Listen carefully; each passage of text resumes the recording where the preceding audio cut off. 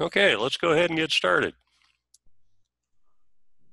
I'd like to introduce our panel today. We have our presenter, Rich Falco, coming from his home in Florida. Uh, just below Rich on the screen is Pete.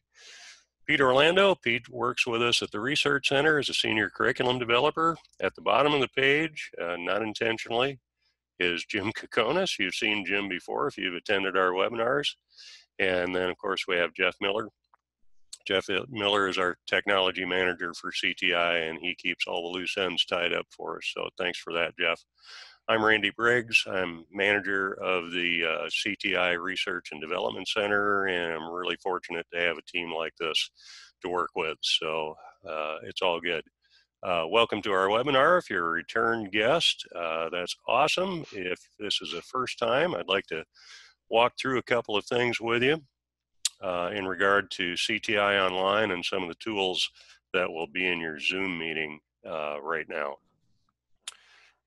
What you're seeing now is my browser at, uh, and we're at uh, ctionline.com. If you log into this first time during the day, you're going to see this little splash panel come up. Uh, if you close that, you're going to get to our main public page. If you want to see uh, not only upcoming webinar training or register for that training or see recorded videos the week after the live event, we want to hover our mouse over training. You'll see a little drop down come up and click on virtual classroom. When you click on virtual classroom, you'll see this table come up. So select the topic that you want, the day and time that works for you, register over here. You do have to pre-register for these, by the way, and we do repeat the same topic uh, three times during the week, so that helps guys out in different time zones, different work requirements, and hopefully everybody gets a shot at attending. The recordings are listed at the bottom of that page, and all you have to do is click on video, and it will take you right to that video. So uh, after today's webinar, you'll see the recording for uh, application of electrical test tools populate right under that. So should be in good shape. It, it won't populate today, though. It'll no, it won't populate early, today. Early next week, right? Yep. Okay. Yep. Exactly. Exactly. There we go. All right. Uh, thank you everybody for for being here. Uh, I uh, appreciate you taking time out of your day to uh, spend an hour with us, your your lunch or, or work or whatever it may be. Uh, our our discussion today, application of electrical test tools. This is normally an eight-hour class that that I do as I'm traveling around my normal regions. So in this class, we do assume you guys have some basic understanding of um, of electricity, electrical circuits. Uh, I'm going to ask you some questions. I will tell you, you guys are our guinea pigs for our polls. We're going to put some polls up where you can answer some questions. It is anonymous. We are not uh, keeping your names. We're going to call anybody out for being wrong. We just want to see uh, track how we're doing here uh, with some of our some of our questions. But uh, this class focuses on what tools are available, uh, what their strengths are, what their weaknesses are. If you are not good with electrical, and at every shop I've ever worked at, I've had a coworker say to me, "Ah, that that electrical stuff just doesn't make sense to me." Uh, you can you can keep that stuff. We we don't really have that option anymore. We we have to understand electrical, and I really hope if I get to do more webinars, we'll do a lot more um, electrical fundamentals and testing classes like this so we can get you guys up to speed because uh, cars aren't getting any less complicated. And we need to understand the circuit. We need to understand what our tools can or cannot do uh, and, and that's really what our, our conversation today is uh, not so much hey this tool is a waste of money but this tool does these things very well uh, but it it, it can't perform this test and we, we have to go somewhere else for that. So we're going to, uh, we're going to jump into that here. But first I want to ask everybody a question. I see a lot of people talking on the chat and hello to guys in South Africa and Colorado and Philly and, and Jersey. Um, but um, I want to ask you guys a question and you can just answer with a yes or a no or a, or a me.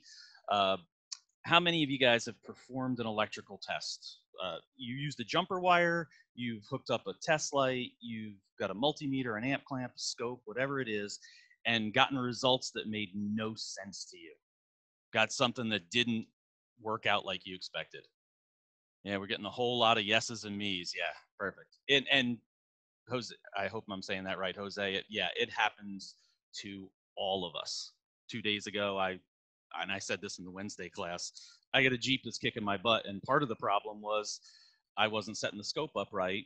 I wasn't super familiar with the scope. I was at a shop using their tools, and and uh, the majority of the problem was user error. It, it, was I didn't get the strengths and weaknesses of that particular scope and and, and their tools. Uh, so, oh, I'm sorry, guys. One second here. Here we go. So uh, as we go through this class here, um, we want to try and clear up some of that. We want to try and uh, uh, make sure we understand the tools we're using and how to use them and uh, what tests are, are best for what particular tool. Come on. So we want to test, not guess. We don't want to uh, we don't want to just uh, load up the parts can and throw throw things at it and and uh, return what doesn't fix it and hope for the best because uh, sooner or later somebody's whether it's our customer or our part supplier is going to get sick of supplying us with test equipment. Uh, performing a test and just about any test is better than just throwing parts at it. But if we're performing a test and we don't know the limitations of our tool we might go in the wrong direction we might get uh, some bad information and and waste a lot of time chasing a problem that maybe is or isn't there. So I want to say this right up front because uh, not everybody in the in the world has a scope. Uh, not everybody in the world has every snap-on tool known to mankind. And I'm one of those guys that used to make fun of Harbor Freight multimeters and tell you, you know, any multimeter is good unless it says Harbor Freight on it. But if you know the specs, if you know what it can do, then uh, then you know what you can handle with that particular tool. It, it, doesn't matter the name brand. It doesn't matter where it came from. If you have a mastery of that that particular tool and understand what it can give you from a test light to a scope, then then you're doing just fine there. And the only way you're going to get good with any test tool you have is to take it out and play with it as much as possible. And I'm talking about the tools here. Uh, make a diag cart. I don't have a bay that I work in anymore. I'm, I, I have a van I drive around and all my stuff is mobile.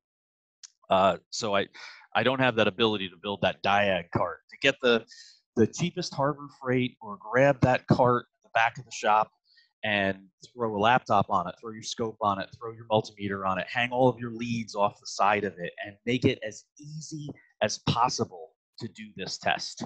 The only way you're going to know if you're missing something is if you actually perform a test and see for yourself, oh, oh, my multimeter can't catch that, or I had it on the wrong settings, or I was I was hooked up improperly. So practice, practice, practice. Make it convenient. The worst thing you can do is buy a brand new tool and uh, throw it in the bottom of your toolbox and say, I can't wait for a broken car to come in. I get I get beat up in my classes for saying um, collect known goods, practice on known good cards, and and and and rightfully so because there's a lot of guys that are in a shop that are just trying to make a paycheck. They're just trying to earn some money, especially right now. Times are tough. Uh, it's it's a little uh, it's a little tough to uh, to just take some time out and and uh, uh, spend uh, spend time just collecting known goods for no reason. Uh, most of what I was just talking about was uh, at a headline screen here. just said tools, advantages, and limitations. So I, I just want to say you guys didn't miss miss anything. You're, so you should see uh, a fluke multimeter and and a wiring diagram. Some words up there. Chuck Chuck Morris. I have to watch how I pronounce that. I might get beat up. Uh, I don't understand the settings on a fluke meter. Uh, you're not alone. You're, you're absolutely not alone. I, and it's something I ask in my classes all the time. How many guys know what, uh, how many guys know what this knob is for? And they go, oh yeah, volts, ohms, amps, things like. I said, how about all these buttons at the top? And then, and then it's silence. Uh, the only way you're going to get good is practice is uh, get the owner's manual out or go online. I know they're all online now, uh, and do a little research and play around. And what I was getting to with guys collecting known goods is maybe you got a car in your bay, you've already diagnosed it. It was simple, straightforward. Uh, it had a bad coil, had a P0301. We did some some coil swapping or whatever it is, and and you figured out the problem. Well, that car is sitting in your bay. You're waiting for customer approval. You're waiting for parts. That's a car with known good and known bad. Now is the ideal time to do some testing. If you don't have another car to work on, then you've got a chance to learn something. So, regardless of the tool, regardless of uh, the technique that we use, the the first goal in testing is understanding the circuit identifying how the circuit works, taking a look at a wiring diagram, looking at description and operation. And if we understand the operation of the circuit, uh, the type of tool that's to be used might become obvious. We, we might realize, uh, oh, okay, the circuit's supposed to do this, and I know that my amp clamp or my scope or my multimeter is, is the best way to go, the fastest way to go. Uh, and we have to think to ourselves, what isn't this going to tell us? If I if I use my amp clamp, and I'm going to give you an example here real quick. Uh, what is it telling me about that circuit? Amperages work. And if I am testing a simple series circuit and I see amperage, I know the circuit's good. I, I, I see current flowing, something is happening. I don't have a broken wire and open in that circuit. And then in analyzing that wiring diagram, we might see our best place to do our testing. I don't want to drop a fuel tank. I've never had a car with a bad fuel pump that had an empty tank. The only time the customer has ever brought me a car with a full tank is when the fuel pump was bad. So uh, if I don't need to drop that fuel pump or drop that fuel tank to get access to the fuel pump wiring and do some testing, I'm I'm all for it. My amp clamp allows me to be lazy.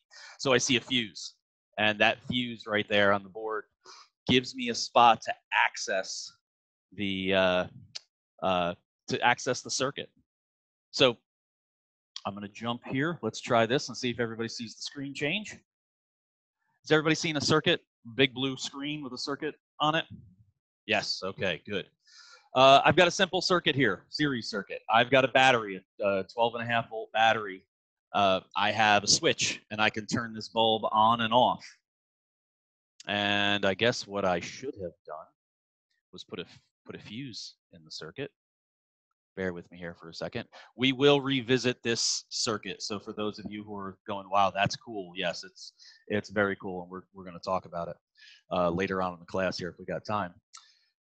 My amp clamp allows me to place the jaws around the wire and see the amount of current or the amount of work being done in the circuit. It doesn't matter where I put it, I get 1.21 amps around the bulb. If the jaws were big enough to go completely around the battery, I see the current is the same throughout the entire circuit. So my amp clamp going to the fuse, putting a loop of wire there, will tell me if the circuit is doing work. But what if I have a broken wire? My current is zero. Do I know exactly where the problem in the circuit is? If you guys could answer on chat. Not at all. Perfect. Thank you, Brian. What if I install a resistor? My current is lower. That resistor, which is resisting the flow of current, and uh, I misspoke last week, and, and, thank you for Dick Krieger or last Wednesday. Uh, the current is not flowing slower. There's there's less of it. The animation here shows it moving slower to indicate we have less current.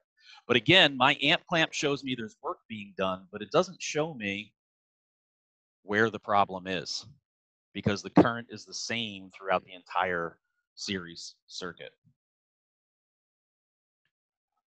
Randy, I, I see your question, and we're going to get to that in this class. Hopefully, I'll I'll I'll answer that question.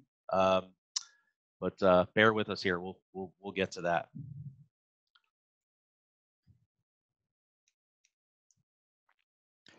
All right. So we we have to choose the right tool. We have to choose the right test. We have to know what it is telling us and what it isn't telling us. And uh, we're going to start with. Uh, I, I already said I like amp clamps, but by far my most favorite tool on the whole planet is the scan tool. Uh, some of you guys already know that. But the scan tool isn't going to fix everything, and, and it's rare that I'm going to diagnose the exact problem right from the driver's seat. As much as I love my scan tool, as much as there's an amazing amount of information there, if you have a trouble code, you have code set criteria, uh, if you research that properly, it may lead you to the type of test that you do or don't need to do. But even with newer scan tools, even with some of the amazing speed of these newer scan tools, there, there's always a delay. There's always some issues. Has anybody run into any problems with their scan tool? Maybe data that was incorrect or, or old or or any data PIDs or specific cars you've run into trouble with? I'll give I'll give you one of my uh, examples while you're thinking about that. Uh, take a car for a test drive and graph the wheel speed sensors. I, I I guarantee you that at some point you're going to come to a stop and still see the wheel speed sensors uh, uh, uh, registering some speed. Wheel speed sensors provide information to the ABS module, and he has to process that and give that information to the PCM, and he has to process that and give it to the scan tool. Scan tool has to process it, put it up on the screen. So there's always going to be some delay, and Hans is, is perfect there. Yeah, scanner can only tell you what that module thinks is going on. Uh, maybe slow, uh, Darren, you, are right. Sometimes the Bluetooth connection on certain scan tools is, is a little slow. If uh, I know on my Autel, the uh, Ford uh, power balance test done wirelessly is terrible. But if I hook up the USB cable, it is crystal clear and it works fantastic. So again, knowing the limitations of your scan tool and what I have to do to get my good information out of it is, is important. It doesn't matter what brand it is. The data on your screen, air fuel sensor resistance, uh, do we think the uh, multi, do we think the PCM in the car is actually doing an ohms measurement? Do we think we have an ohm meter inside of our PCM?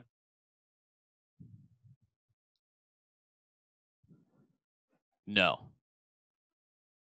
We got a couple of no's there. Yeah, no way. No, it's it's an inferred or calculated value. It is it is probably uh, measuring amper, amperage and and using Ohm's law to, to make that calculation.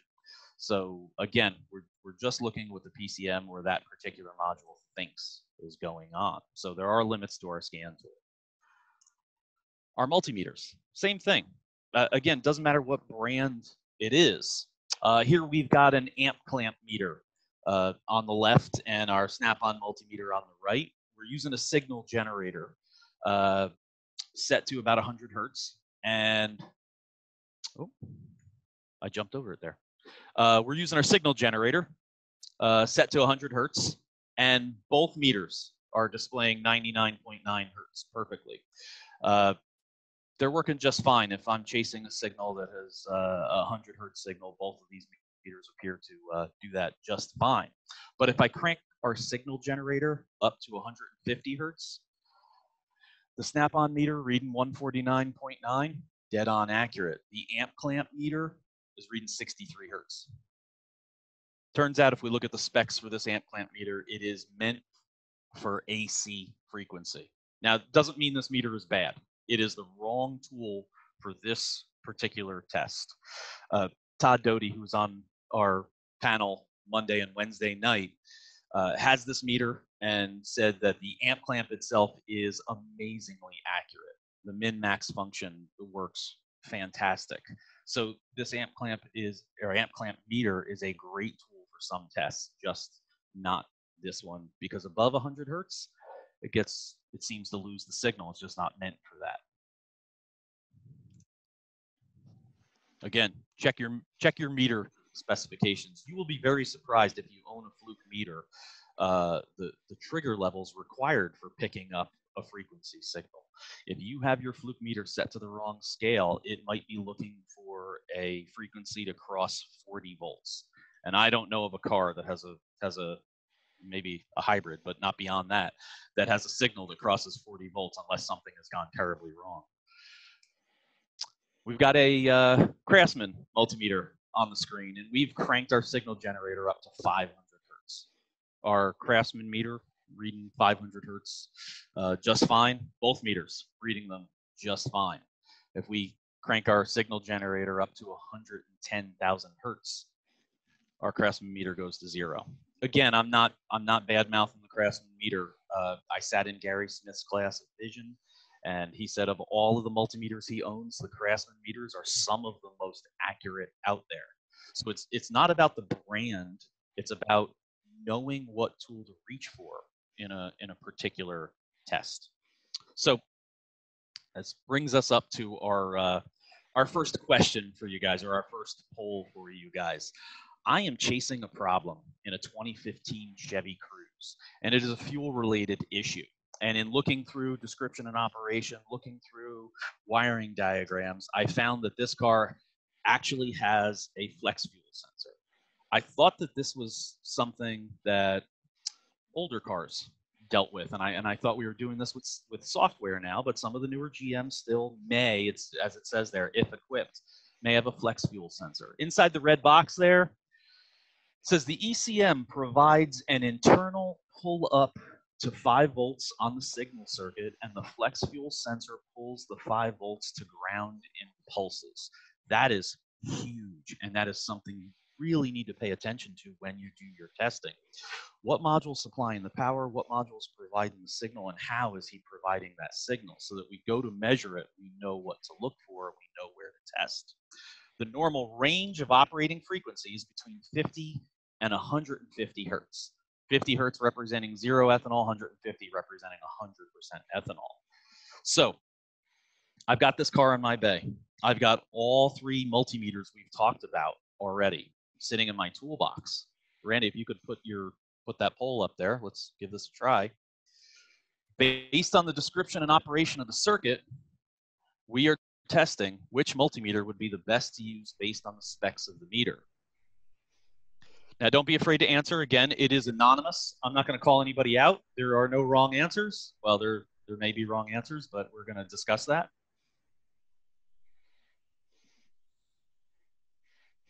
Oh, I like this. and we see it coming up live there, or I can see it coming up.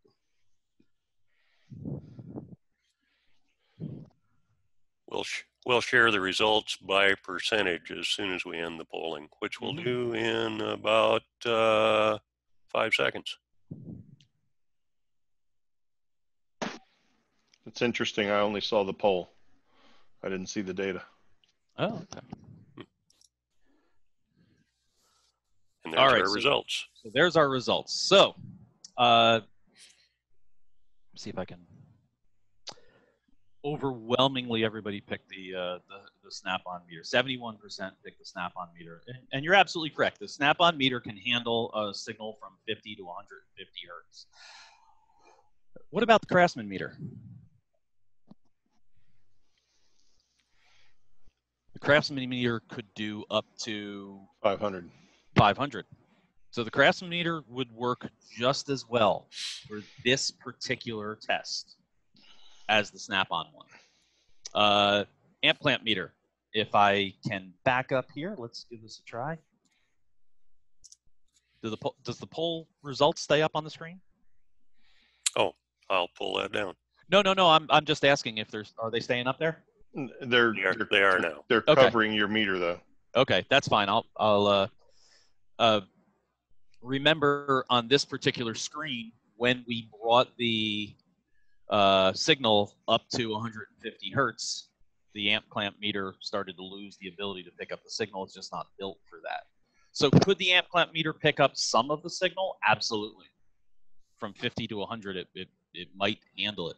Uh, but if we had a car with a considerable amount of alcohol content or a sensor that was uh, a reading much higher uh, incorrect value, it, it might lose that signal. So uh, again, it- it's a it's about picking up uh, the right tool for the job. It, it really doesn't matter what brand it is. All right. Which brings us into our next section here. Uh, open and short testing. So uh, normally at the beginning of my classes, I tell everybody I'm not that smart, uh, but electricity makes sense to me, and it's always kind of made sense to me. And I know that's that's that's tough. It's it's not some it's it's something that we all struggle with.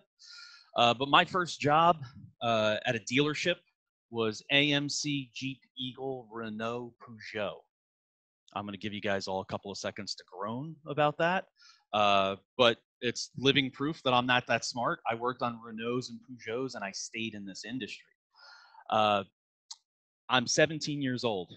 I've got an 87 or 88 Jeep Wrangler that's uh, still under warranty, and it has a dead uh, blown fuse in it. Uh, You stick a fuse in it, and it instantly pops.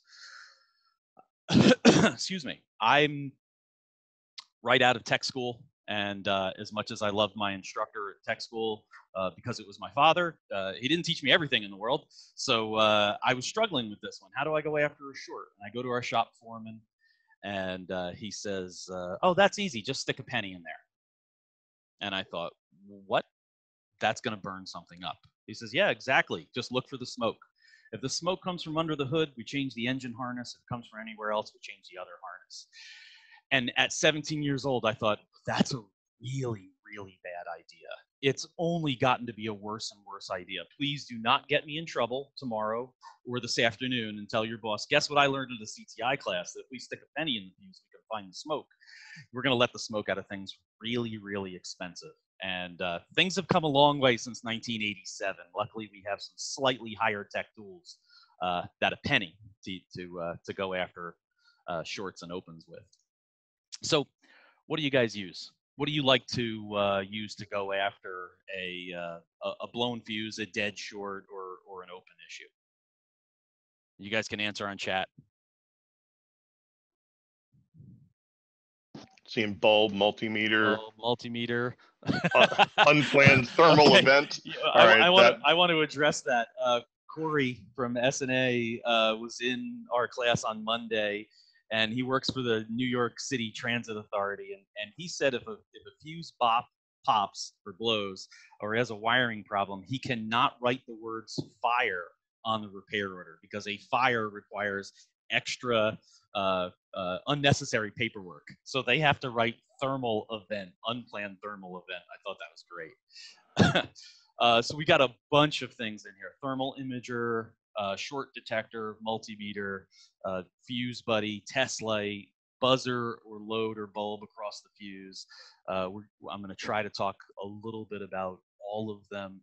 Uh, there are some specialty tools out there like the uh, Power Probe open and short finders that are just things we can't, we just don't have time to get to today. Uh, diffuse, oh, let me put it up there. Let me ask you guys a question. Diffuses wear out. this is always an interesting one. Do you guys think fuses wear out? Oh, we got a 50 50 Yeah. yes and no right off the start. Okay. Yeah, no, no, that was interesting. No, no, no. Everything wears out. Well, Brian lives in Ohio, so yeah, everything just rusts away. They corrode. I, Randy, that is what I have seen more than anything is they fail due to corrosion if they're if they're not failing due to some unplanned thermal event. Yes, but not in any time limit that will likely affect our field. Good answer, Anthony. Yeah, it, overwhelmingly when they blow, yes.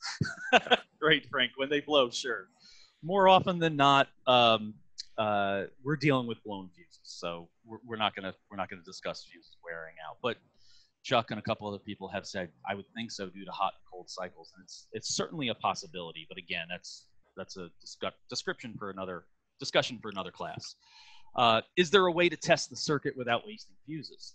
Of course, there's a cheap way. Just get a fuse. Just get a penny, right? No, no, we do not do not want to put a penny in the circuit.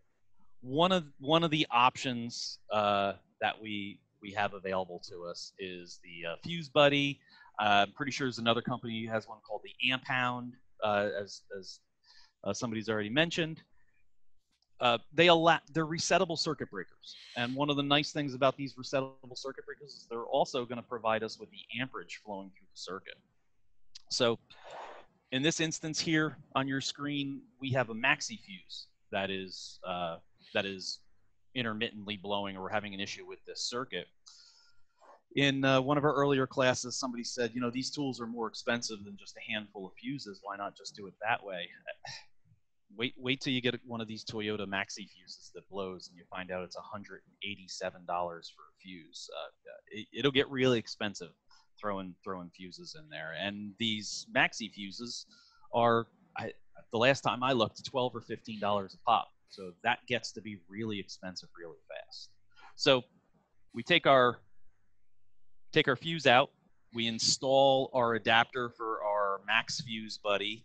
This fuse uh, still goes into the circuit, so it is protected, but the Max Fuse Buddy itself also has a resettable circuit breaker. We can set the level in that circuit breaker. Uh, uh, in this instance, we're on a lighting circuit, and I'm sure that that Maxi Fuse powers more than just the lights, but this gives us the ability to turn on whatever that fuse protects, whatever circuit that fuse protects one at a time and, and look for a spike in current to try to catch the circuit we're, we're dealing with. In this case, we've got the parking lights on and we're drawing 4.8 amps. We turn the low beams on, it jumps up to 11.6 amps. We turn the high beams on, it goes up to 14.3 amps. We can continue turning circuits on and, and look for a spike in current if we don't have a spike in current, if this is an intermittent problem, well, now we can start wiggling wires. We can, uh, maybe we need to power brake the car, uh, get that engine twisting or turning and pulling on wires and, and look for a spike in, in current. If we're dealing with a, an open, maybe we have a circuit that isn't working, we could do the same thing, install the fuse buddy, wiggle wires, uh, uh manipulate the uh, harness and look for jumps or look for dropouts in that current to give us a location as to where that uh, uh, that circuit may be having issues. Looking for a dropout or or the, or the exact moment that that circuit is overloaded and pops. So this is just one example of a tool that might provide us with a with a direction as to where to continue our testing. What I like to do uh, is use my amp clamp. My amp clamp with those current loops, like I talked about at the very beginning of class. If there is a fuse available, I am going to pull the fuse out, put a loop of wire in there, uh, put my amp clamp on it, and go to my U-scope, uh, go to my Vantage, go to my Pico, whatever I got handy, whatever I think I need for this particular test. This is just my personal opinion here, but I am not a huge fan of the OTC ones because of this huge plastic uh, connector right at the bottom. There are some fuse panels uh, that are just a nightmare. Uh, 2014 Lincoln MKZ is still fresh in my mind. I don't want to work on anymore.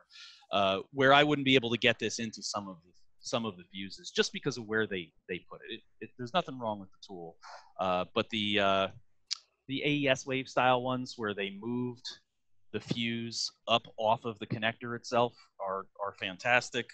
When I was at Vision, I made sure to grab this oddball weird one for those uh, three-pronged uh, Ford fuses. So now we can put our amp clamp anywhere on, on those particular circuits. And there were two others for the, the long and really stubby fuses. So uh, take a look at those.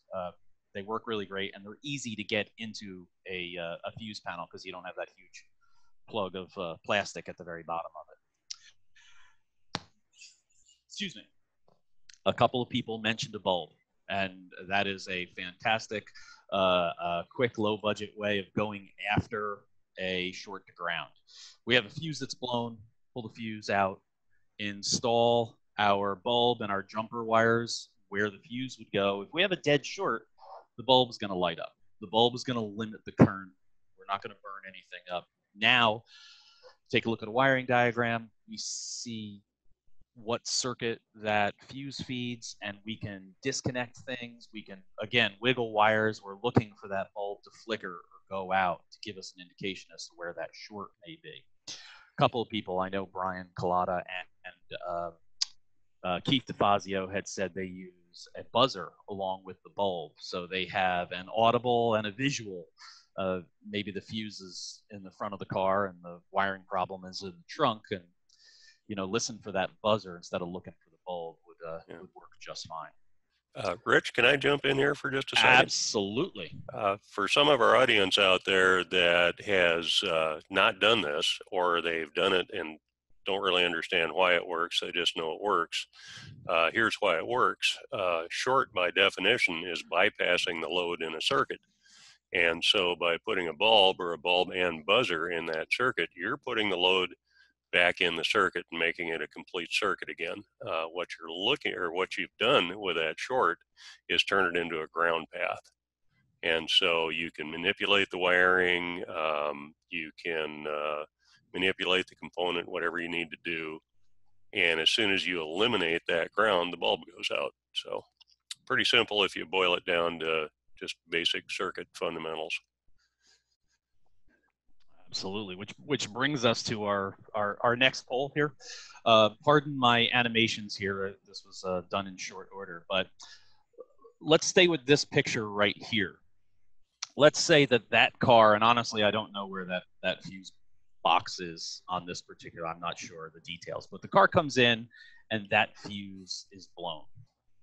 And you say to yourself, "Oh, Rich told me this cool trick with the with the bulb, and I'm gonna I'm gonna hook up my light bulb and let's see what happens." The fuse is already blown. I hook up my light bulb, and uh, the bulb isn't lit up. Now what? Do I know anything about this circuit? Do I have any idea of exactly what's going on? Not not really. And maybe I say to myself, okay, well the bulb trick didn't work. Rich lied to me. Uh, oh, I got those. I've I've got those uh, amp loops. Let me hook up a loop and hook up my amp clamp. And I hook up my amp clamp, and I've got no amperage. So the car came in with a blown fuse, and I'm not seeing any indications of current flow at this problem at this point. um, I like some of the answers that are coming in. I'm gonna I'm gonna address some of them, but bear with me.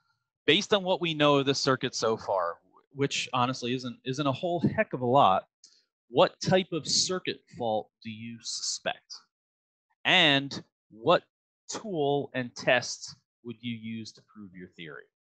So is it an open circuit and I'm going to reach for my voltmeter, do a voltage drop test? Open circuit, go for my scope. Open circuit and grab my ohm meter. Short circuit, again, going after voltage drop. Short circuit, scope, short circuit ohm meter. We know we had a short that blew the fuse. I think I, I- the car came in with a blown fuse. Uh, at this point, we have no current flowing whatsoever. Uh, I, there's a there's a couple of different ways that we can go after this. Um, Uh, Can, can I can I chime in on something here, Rich? absolutely, Let- Jim. I would love you to. let me let me ask a follow up question.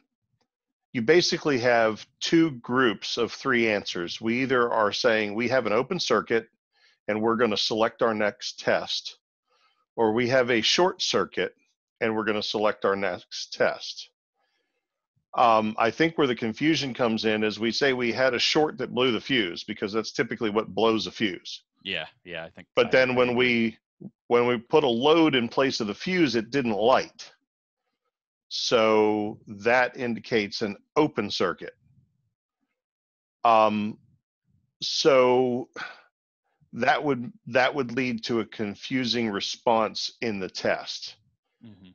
Um, so for those who selected a thinking that we currently have a short circuit when we didn't get any current flow with a substitute load, can you have a short circuit with zero amps of current and a load in there, or must the circuit be open and incomplete? How would you how would you split those two conditions in your head? this question kind of leads us into our our next uh, our our next uh, section here. But uh, yeah, I again with what Jim said, I would say yeah. At this point, we we have a uh, we have an open circuit, and that voltage drop or or even a continuity test might might be uh, in store here. So I I think there was more than one right answer here. I'm I'm just so happy so few people said scope, but that's just me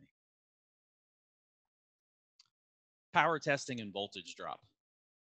Uh, there's nothing wrong with an ohm meter for a continuity test. And and maybe that is a warranted test at this point on that particular circuit. But as one of my guys in North Carolina said, an ohm meter can only tell you if the circuit is bad. Uh, it, it, cannot tell you if the circuit is good. An ohm meter does not load the uh, circuit properly to give us any indication as to whether that wire or that component we're testing can can flow current.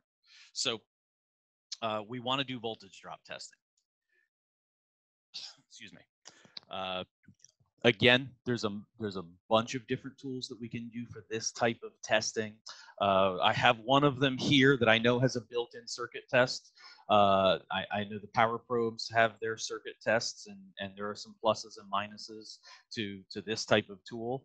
Uh, on Monday, I said, "Man, this thing is huge," and uh, I wasn't a big fan of it when I first started playing around with it. I couldn't imagine going under the dash or trying to get into a tight uh, uh, uh, engine bay with it. And somebody had pointed out that the connections are banana clips, so that I could take an adapter or, or a jumper wire and I could take my OEM style connectors or, and, and tap into a circuit and not need to stick this under the hood or in the engine compartment. So again, just know how to use your tools. Voltage drop issues are they're they're going to burn up motors. Uh, they're going to cause dim lights. They're going to cause solenoids and actuators to not work properly, and uh, they are going to cause repeat failures. Car comes in with a burnt up fuel pump. Before we just throw a new fuel pump in it, drop that completely full tank and change the fuel pump, uh, I, I want to make sure the circuit is good because I, I don't want to turn that circuit into a serial killer that just keeps killing fuel pump after fuel pump. I want to I want to fix the uh, uh, the circuit first and replace the fuel pump once. So voltage drop testing finds the hidden resistance in the circuit. Now, uh, I'm going to jump back to that animation. You guys should have that, that circuit back on the screen. Uh, so we've got a light bulb. Uh, there is a resistance in the circuit. We, we still have a resistor in the circuit there, and we want to do a voltage drop test. We grab our voltmeter, and I'm just going to move the current meter up out of the way here, amp clamp out of the way here. Take my voltmeter, and I go to my battery and I see that my battery has 12.5 volts, what would I expect my voltmeter reading to be at the bulb itself? I just gave that away, didn't I?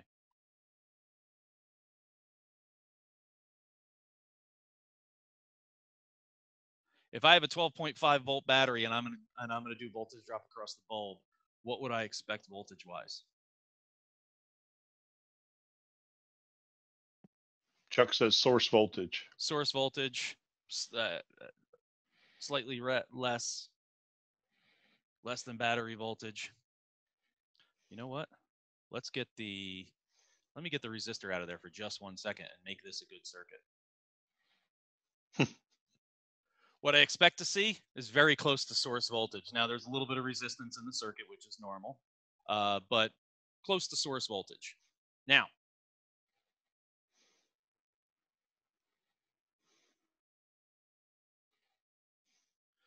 with my resistor in place, I see considerably less than source voltage.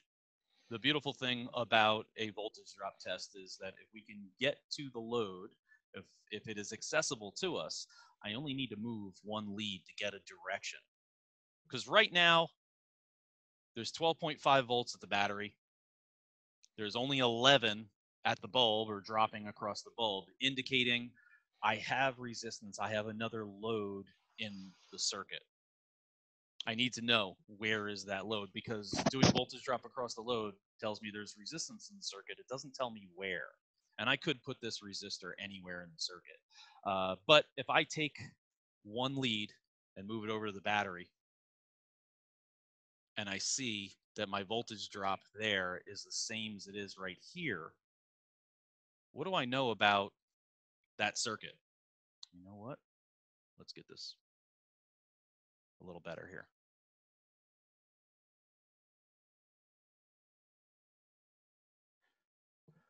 My voltage drop across the bulb, I'm losing about a little over a volt. My voltage drop from the positive side of the battery across the bulb, I'm still losing a little over a volt. Is my problem on the feed side of the circuit or the positive side of the circuit?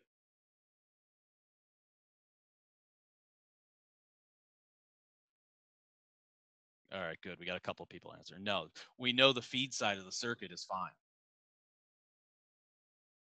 It's on the ground side. And again, it's just a matter of moving my leads. Ah, I should have. And I see that voltage drop, and then I move it, and I move it, and I am dividing and conquering, and eventually I'm going to get to the other side of that circuit, and my voltage drop disappears. My problem is in between this point and this point.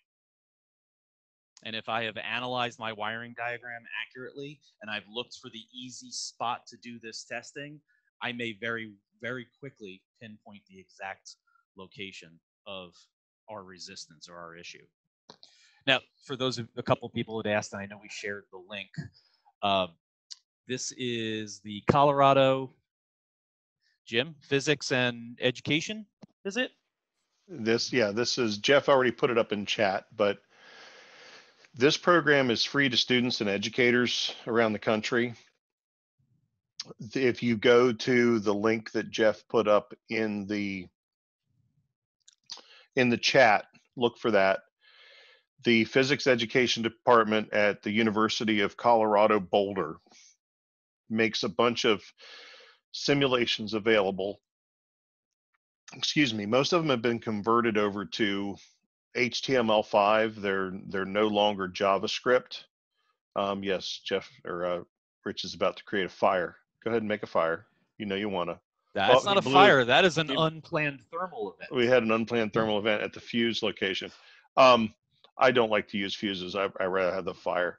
Um, but anyway, the the the program is free to use, and it's even free for educators like us as long as we give credit for where the program comes from. The beauty of this is that anyone that's here can go and download these HTML files and put them on your PC or your tablet, and you can practice and you can learn to build a circuit. And um, all right, quick show of hands. How many guys that are on the chat right now uh, in school were not really fond of math and science? Raise your hands for that. We got them popping up. As a percentage of the group, that's pretty small right now. And I realize some of y'all may be eating a sandwich because it's lunchtime or whatever. Um, math, no. Science, yes. Uh, overthinker, science, yes. Math, meh. Okay, I, I like I like the chat responses too. Um, the funny thing about it is, you know, this is electricity, and we've all said in our training that um, nowadays as a technician we have to know electricity we've got to understand it we got to know how to test it and this is part of the physics department so yes folks we are dealing with physics sorry and that goes for brakes and that goes for Everything. everything. As a matter of fact, I, I would often draw a an electrical circuit, a series circuit with one fixed and one variable resistor. And on the fixed resistor, I would place this voltmeter. And on the variable resistor, I'd be able to turn it up so high that basically no current was flowing. And I would say, do you understand how this works? And as I would increase flow on the variable resistor, you would change the voltage drop from zero to something across the fixed resistor. And they'd be like, okay, yeah, I get that. I get that. I said, that's how a Ford DPFE works because it's all the same concepts. And so once we understand it, it just gets easier across everything. We have a couple of really good pertinent questions in chat. I- um, one is that wiring diagrams can sometimes be confusing. How to find the easiest points to do a voltage drop. Yep. and Uh, the next one is right under that. Do you have okay. to disconnect the load to find out? Uh, no, we're about to get to. Well, let me get to both of those. Robert, uh, wiring diagrams are confusing. How to find the easiest points to do the voltage drop test? Um, yes, they are. And and just like using your tools, it's it's going to take practice. And every manufacturer has gone to their own global style of wiring diagram. It's not getting any easier. Uh, in your service information is a description of the symbols. Um, again, there is a bunch of great classes. One of my favorite classes to ever take is George Menchu's wiring diagram class. Um, it's it's going to take practice uh, with those wiring diagrams to get comfortable with them. When I started working for Mercedes, it was DIN style wiring diagrams, and that was it. And it took me a while to make sense out of them. And once it clicked, I went, "Oh my god, I like these so much more. I prefer them." Uh, but um, yeah, it's just you're gonna have to do your research. You're gonna have to take your time. My my my best tip with a wiring diagram can be start with what you know. Start with oh that's a fuse or oh that's the that's the load and work your way from there. The nice thing about electricity is BMW electrons flow the same way as Ford electrons do. So if you can identify the symbols and you know that that fuel pump or window motor needs power and ground, you can you can work from there. Uh, that that is uh, uh, that is uh, uh, we have a couple of different classes that cover wiring diagrams, so that's that's a great one that I think we could do uh, as a webinar. So I'll do my best to get that one out to you too, guys. All right. Um, the the other question was, um, do we always have to disconnect the load to find out? No. Um, maybe I'm misunderstanding that question there. We don't want to disconnect the load. When we do voltage drop testing, the circuit has to be working. Um, so use the component as the load, the bulb, the motor, whatever it may be. If that component isn't working or has already failed, we want to substitute a load. Uh, Randy, am I am I missing part of that question? Or not reading Well, I, correctly? I, th- I think you're close. Um, what we have to remember is that that uh, that circuit has to be operating to make a valid uh, voltage drop test. If there's no current flow, you're not going to see any voltage drop at all, uh, which can lead you down the garden path all by itself. So if you're, let's say, for example, you're replacing a fuel pump that's not working and you want to test that wiring before you put it all back together, you have to substitute a load that's equivalent to that fuel pump in the uh, in the circuit. So we have current flowing through that circuit, so we can make a valid uh, valid voltage drop test. So it does have to work. Uh, let me throw just a quick question out there. If I'm new to voltage drop testing, and I uh, do a voltage drop test, let's say we go across the positive side of the circuit to try to get direction. Uh, so from battery positive all the way back to our fuel pump uh, feed circuit. We'll still pick on fuel pumps here. And my meter reads 0.000 volts. Do I have a perfect circuit or do I have a problem?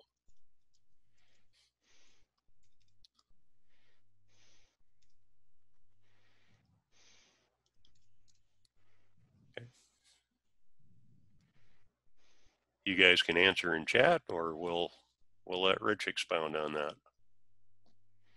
If Bill Hamilton got it right. Darren, you're right. We got a problem. If we test voltage drop and we do not have any voltage drop, then we don't have current flow. If current is flowing, we will have resistance in the circuit. Doesn't matter if they're gold plated uh, monster wires or, or whatever it may be. So uh, there's always going to be some voltage drop in a circuit that is working. Um, all right. So I see I'm running out of time. A lot of guys have run out of lunch, so we kind of need to jump here for a little bit. Give me a couple more minutes, guys, if you can. If not, thank you very much for attending. Um, it's possible that that voltage drop may occur after the circuit heats up, after it's been operating for a while. Uh, and if we don't have a component that we can put in there and leave in there, we might have to uh, substitute a load. One of the things that we suggest is some type of a load box. Again, I know there are tools out there that will simulate a load on a circuit. Uh, one of the things about this one is that it lets me be cheap and I make it myself. Uh, but we just have a simple box here and all six bulbs are hardwired in, in uh, parallel to the uh, banana connectors. So we can use our adapters to hook this into a circuit and based on 12.4 volt battery, we see that uh, we can adjust the load depending on how many bulbs we put in. From from one to six bulbs, we can vary that that uh, that uh, amperage from 2.5 amps up to about 15 amps. If it's less than two and a half amps, that's what my old school incandescent test light is is good for because it draws about an amp. So match the load to the circuit. If if we're chasing a marker light bulb, we probably don't want to flow 15 amps through that circuit. So just uh, uh, use that load test box to substitute the appropriate amount of load on the circuit so that we can test it. All right. Um, so uh, yeah, I am running out of time here, which we knew was going to happen. Uh, we we have some discussions in this class about using the power probe and applying power and ground to a circuit. The power probe is a fantastic tool when used properly. Uh, I, I can't stress that enough because in some instances, that button there on the top could very easily be labeled the kill ECM button if you are going to apply power or ground, you better know very well the type of circuit that you are applying power and ground to. And the power probe has some pretty neat features where it can tell you uh, it, it, tripped a circuit breaker, it flew a certain amount of amperage. Here we're activating a fuel pump. Um, again, if, if you have one of these tools, know how to use it, know how to uh, uh, operate it properly. Frank is 100% correct. It is super dangerous if handled incorrectly. Uh, a lot of people love their power probes. Uh, a lot of people have already realized where it excels and where it really struggles with, with some of its testing. So just be careful. Uh, my my last thing that I'm gonna that I'm gonna jump to here is is amp clamp testing, and and I'm I just want to put one screen on on the board here for you. And if you guys just give me about five more minutes, we'll get through our last poll here and our, our last question. Amp clamp tells us the amount of work being done by that circuit. By, by attaching your amp clamp to a scope, uh, again, U scope, uh, a Vantage, a, a Autel scope, it doesn't matter. Uh, we see a lot of information. In the case of this window motor, we see the huge inrush of current as that electric motor built a huge magnetic field to get that window moving. So my my last question here is I've got a car in the door. Uh, the customer's complaint is that the driver side window doesn't work. Uh, where's the easiest place for our for us to put our amp clamp to test this particular window circuit? Where would you guys go to? To the switch? to the fuse. Greg got it. Yeah, Greg got it. A couple people got it.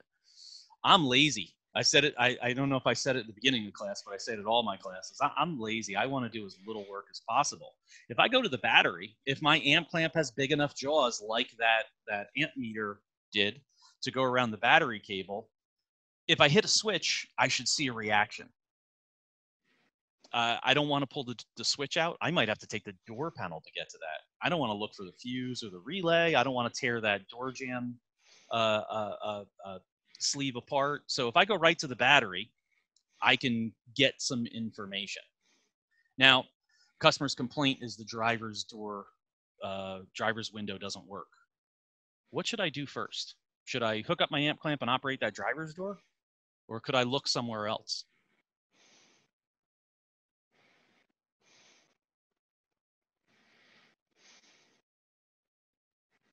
Look at the interior lights dimming. Yeah. Test the passenger door first. That's that's really what I was looking for. Yeah, uh, I've had a lot of guys answer that. Look at the dome light. You're, yeah, you're looking you're looking at a reaction from uh, the, the current draw. We're just going to use our our scope, uh, but that yeah, that is the old school way of going after it. So let's just say on our particular car, the blue the blue waveform you see right now is our known good. That is the passenger window. That's what it should look. Draws about 18 amps, and once the window starts moving, that amperage drops down to about two and a half. Uh, the pattern looks good. Again, that's subject for another class as to what we're really analyzing here. So now I have something to compare it to, and I operate my driver's window. And when I hook up my amp clamp or when I turn the key on, I see my amperage is very close to zero. I hit the switch and the amperage very quickly, whoops, climbs up, stays up until I let go of the switch. This is our, our last poll. Randy, if you could pop that up there. A couple of you guys are, are realize what you're looking at. We're going to ask you to answer that in the uh, on the on the uh, poll that should be on your screen now.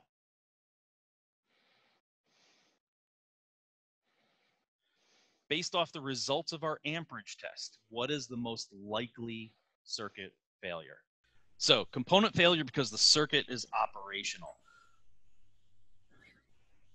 was uh, the overwhelming winner there. Yeah, we see low current. When I hit the switch, it climbed up to that 18 amps. What does this tell us about the circuit? It's it's working, isn't it? It's trying its best to do something. But it stays high until I let go of the switch. Would uh, let's let, let me ask this question then. Let's say the regulator was broken or the gear inside of the motor was stripped. Would my current climb up to 18 amps? Should it? If the motor was spinning freely, we should see a nice even pattern, but it should be very, very low. So this waveform, which I know is very, very basic, could, uh, uh, yeah, it, there could be a couple of different things. If the regulator cable is bound around the motor, if the motor is locked up, or like Brian said, if it's winter in Ohio and the glass is frozen to the door, that's never enters my mind down here in Florida anymore. Uh, but yeah, it could be component failure. It could be an indication the motor itself is stuck. Is it a circuit problem? Do I have high resistance? Do I have an open in the wiring?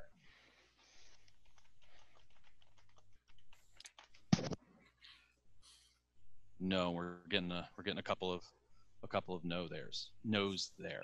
So the car is in my door. I have popped the hood. I put an amp clamp around the battery. Uh, and I know I have a mechanical type problem. I have something that is uh, that is that is keeping this motor from spinning properly. I do not have an electrical problem. I don't need to do voltage drop testing. Uh, I, I, have enough information to go to the service writer and say, hey, I need to pull the door panel and I need to see what's going on with the motor itself, or we need to let the car thaw out if it's in if it's in Ohio. Uh, but I, I have an answer very quickly, and if the customer declines any repairs, I don't have to put the car back together. Or if, if the customer declines any further diagnostics, we've done a total of five minutes of, of testing here, and we have uh, the information we need uh, in order to go further or to give us a direction with the rest of our testing. So that type of testing can be applied to other circuits. Uh, the uh, again, with fuel pump and other circuits, we can we can get that information, and hopefully in future classes we'll have the time to go into this a little bit further. But uh, we've we've gone well over our time. I want to thank everybody for stay, sticking with me for a couple of uh, extra minutes here. Greg, uh, how much to charge for this test? That is that is really up to you. Uh, uh, charge appropriately because we should not be giving diagnostics away. But that, that's that's about as far as I'll I'll go there. Uh, keep in mind our website for future classes uh, and uh, check our Facebook page and uh, look at all the uh, webinars available out there because there's a lot of good training coming your way.